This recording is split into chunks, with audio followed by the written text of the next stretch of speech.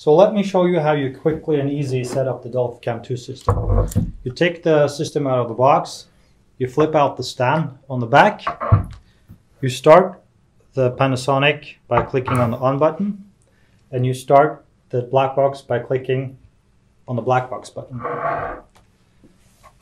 You take the transducer out of the suitcase, you attach it on the side of the black box, either on the T1 or T2 connector, and then you tighten the screw gently, either with your hand or with a screwdriver.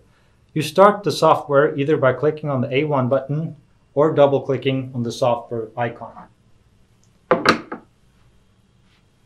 The GUI user interface will detect the black box. Once the black box is detected, the transducer module will be detected.